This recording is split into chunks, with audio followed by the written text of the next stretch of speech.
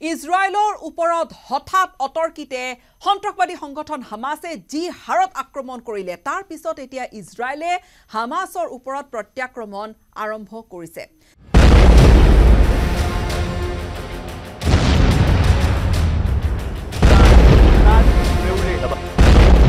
যুদ্ধৰ এটা ভয়ানক পৰিৱেশ। কিন্তু তাৰ মাজতে হামাছৰ এই যি ভয়ংকৰ আক্ৰমণ হৈছিল হঠাৎ যে মাত্ৰ বিছ মিনিটমানৰ ভিতৰতে হাজাৰ পিছত হাজাৰ প্ৰায় সাত হাজাৰমান ৰকেট মিছাইলেৰে ইজৰাইলৰ ওপৰত বৰষুণ কৰিছিল ৰকেট আৰু মিছাইলৰ। এইবোৰ অস্ত্ৰ শস্ত্ৰ হামাছৰ হাতত আহি কোনে যোগান দিলেহি বা হামাছৰ হাতত আহিল কেনেকৈ? কোন দেশৰ সহায় হামাছে লৈছিল? সন্ত্ৰাসবাদী সংগঠনটোক কোনে যোগান ধৰিছিল? এনেকুৱা ধৰণৰ অস্ত্ৰ পাতিবোৰ স্বাভাৱিকতে এনেকুৱা এটা পৰিস্থিতি এনেকুৱা এটা প্ৰেক্ষাপটত বহুজনৰে মনত এই প্ৰশ্নটো নিশ্চয়কৈ আহিছে। এই মুহূৰ্তত এনেকুৱা কিছু তথ্য আপোনালোকৰ বাবে লৈ আহিছোঁ।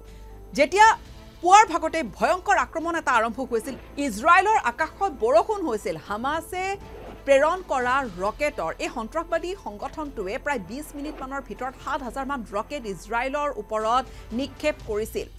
ইজৰাইল ডিফেন্স ফ'ৰ্চৰ আই ডি এফৰ এগৰাকী মুখপাত্ৰ তেওঁ কোৱা মতে বা তেওঁ এইধৰণে এই গোটেই পৰিস্থিতিটোক এইধৰণে তেওঁ ব্যাখ্যা কৰিলে যে এয়া ইজৰাইলৰ বাবে যে নাইন ইলেভেন সদৃ আমেৰিকাৰ নাইন ইলেভেনৰ দৰে এই ঘটনা য'ত ইজৰাইলৰ বাবে সেই সময়খিনি আটাইতকৈ এটা ভয়াৱহ দিন।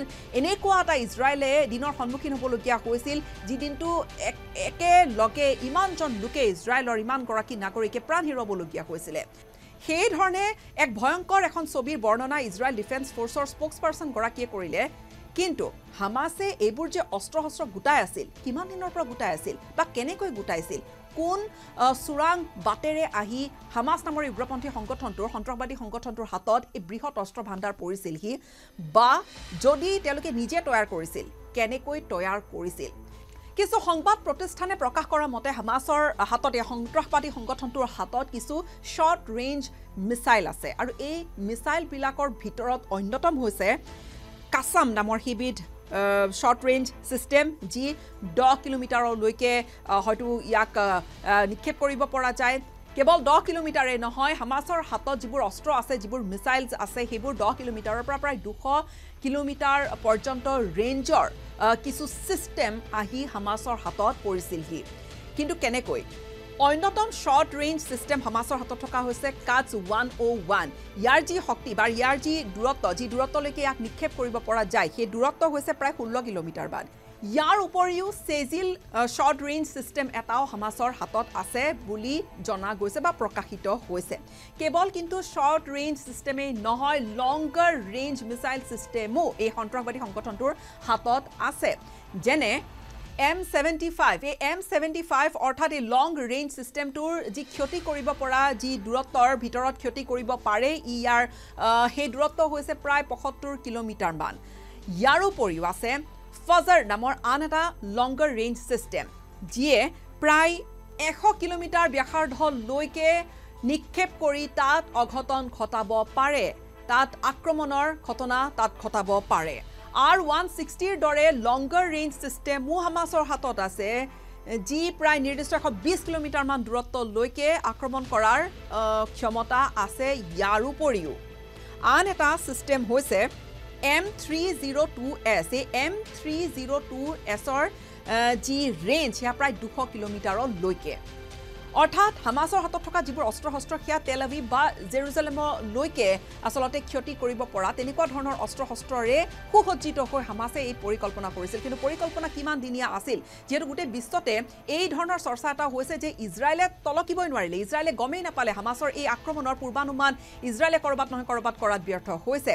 ইজৰাইলৰ যি চোৰাংচোৱা সংস্থা মোছাদ সেয়া আটাইতকৈ অন্যতম আটাইতকৈ শক্তিশালী বুলি গণ্য কৰা হয় গোটেই পৃথিৱীৰ ভিতৰতে গোটেই বিশ্বৰ ভিতৰতে। কিন্তু ক'ৰবাত এই গোটেই ইণ্টেলিজেঞ্চ ফেইলিয়াৰৰ ধৰণৰ কথাও চৰ্চিত হৈছে। কিন্তু তাৰ মাজতে হামাছৰ যিয়ে সন্ত্ৰাসবাদী সংগঠনটোৰ এই যি দীঘলীয়া এটা এটা পৰিকল্পনা এটা যি ব্লু প্ৰিণ্ট ইজৰাইলৰ বিৰুদ্ধে তলে তলে ৰচনা কৰি আছিল এইবোৰ অস্ত্ৰ শস্ত্ৰ গোটাই আছিল এইবোৰ ক'ৰ পৰা পাইছিল কেনেকৈ গোটাইছিলে সেইবোৰ প্ৰসংগ হয়তো লাহে লাহে পোহৰলৈ আহিব।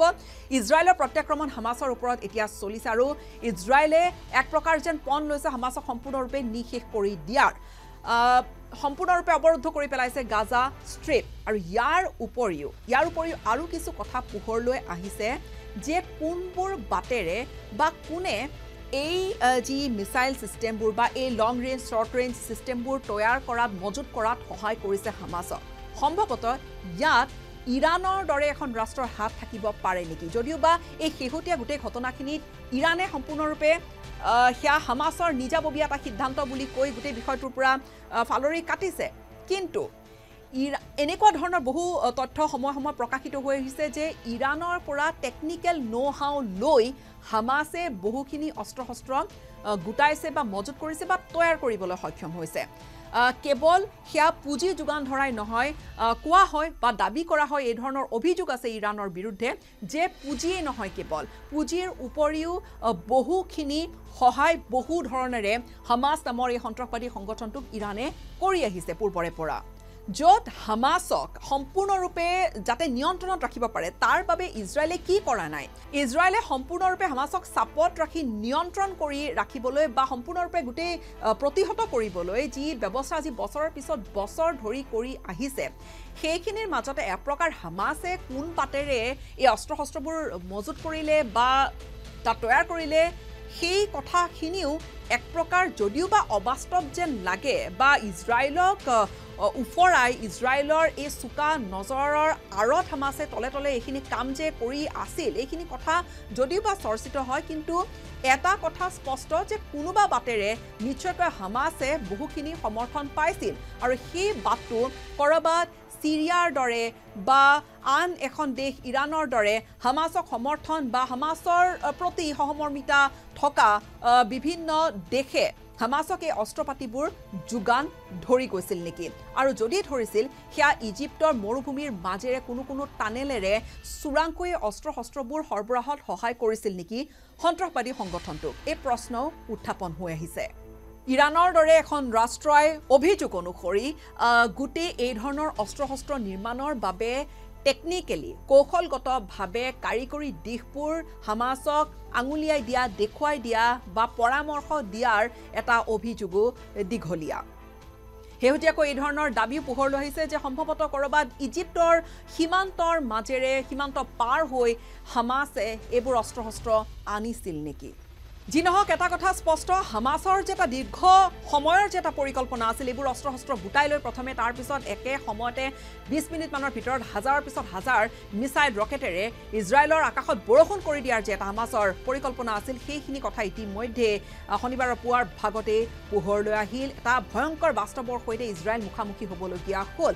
আৰু কেৱল সেয়াই নহয় হামাছৰ যিবোৰ সন্ত্ৰাসবাদী সদস্য হামাছৰ সদস্যসমূহে স্থলপথেৰেও আহিছিল। গ্লাইডাৰ ব্যৱহাৰ কৰি কম কম দূৰত্বত গ্লাইডাৰ ব্যৱহাৰ কৰিও হামাছৰ এইসমূহ সদস্যই ইজৰাইলত প্ৰৱেশ কৰি এক প্ৰকাৰ ধ্বংসলীলা আৰু হত্যা লীলা চলাইছিলে। বহুজনক এতিয়া সম্ভৱতঃ আবদ্ধ কৰি ৰাখিছে অপহৰণ কৰি নিয়া হৈছে।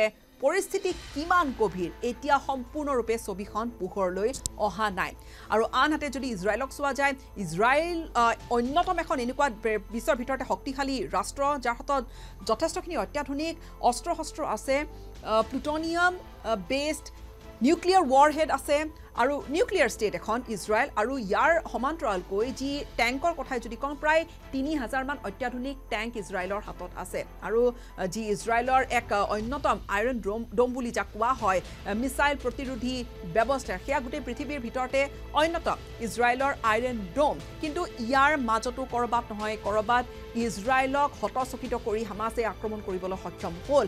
ইজৰাইল নিঃসন্দেহে এখন অন্যতম শক্তিশালী ৰাষ্ট্ৰ যদি প্ৰতিৰক্ষাৰ দিশৰ পৰা চোৱা যায় কিন্তু তাৰ মাজত এতিয়া হামাছৰ এই শেহতীয়া আক্ৰমণটোৰ পিছত লক্ষণীয় হ'ব। ইজৰাইলে কি পৰ্যায়লৈকে গৈ সন্ত্ৰাসবাদী সংগঠনটোৰ ওপৰত সম্পূৰ্ণৰূপে জঁপিয়াই পৰে? ইতিমধ্যে ইজৰাইলে চৰকাৰী ফালৰ পৰা ইজৰাইলৰ চৰকাৰে স্পষ্টকৈ হুংকাৰ দিছে যে এয়া শেষ কৰি পেলোৱা হ'ব বা হামাছক সম্পূৰ্ণৰূপে শেষ কৰি দিয়া হ'ব। আগন্তুক সময়ত হয়তো আৰু কিছু কথা পোহৰলৈ আহিব। যি ধৰণে দিন বাগৰে হয়তো ভয়াৱহ আৰু কিছু ছবি আমি দেখিবলৈ পাম। কিন্তু হয় সন্ত্ৰাসবাদী সংগঠনটোৰ হাতত একে সময়তে ইমানবোৰ অস্ত্ৰ শস্ত্ৰ এই যি মজুত আছিল এই ধৰণে যে এটা পৰিকল্পনা কৰিছিল সেয়াও কিন্তু এটা যথেষ্ট লক্ষণীয় দিশ। কিয়নো প্ৰশ্ন তাতে আছে যে কোনে সহায় কৰিছিল হামাছক কোনে যোগান ধৰিছিল এইবোৰ অস্ত্ৰ শস্ত্ৰ সময়ত হয়তো এইবোৰ কথাও লাহে লাহে পোহৰলৈ আহিব।